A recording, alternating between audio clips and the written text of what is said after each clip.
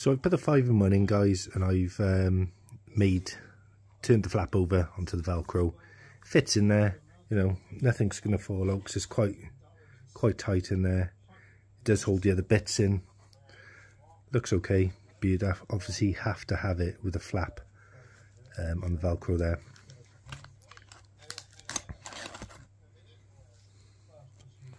And that's just obviously the size of it.